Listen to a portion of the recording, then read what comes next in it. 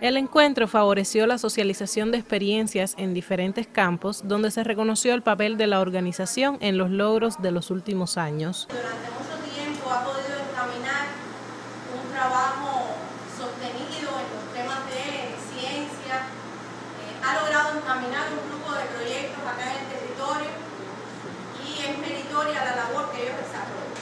Nosotros tenemos un trabajo directamente proporcional en cuanto a talleres, todos los talleres y todas las capacitaciones son, eh, eh, son eh, mutuamente de acuerdo y la ACTAF apoyándonos todo el tiempo.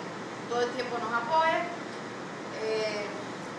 tenemos algunos trabajos científicos también que han salido por esa vía de nuestros especialistas en los municipios y en la base. todo el material divulgativo que utilizamos es a través de la ACTAF.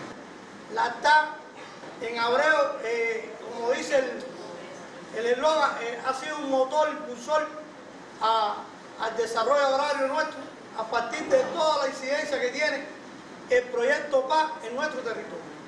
Son siete ya las mini industrias que tiene el proyecto y, con buenos resultados. Anteriormente era, era un problema en nuestro municipio cerrar ciclo, buscar valor agregado a las producciones y tener presencia de esas producciones durante todo el año, fuera de la época que se cosecha.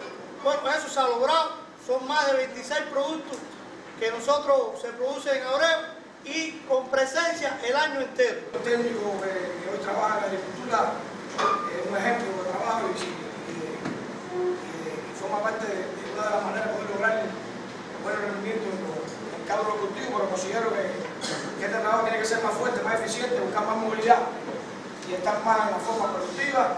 Asimismo, se abogó por un mayor protagonismo de los técnicos para buscar la innovación y la introducción de nuevas tecnologías. Potenciar la participación de jóvenes agroecólogos en las actividades también es objetivo del ACTAF.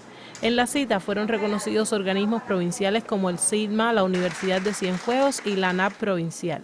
Además, fueron galardonados varios compañeros por su colaboración activa en la organización. Como acuerdo del Congreso se presentó lograr una mayor vinculación con proyectos de desarrollo local para aportar a los objetivos sociales del territorio. Aliena Armas Enríquez, Notisur.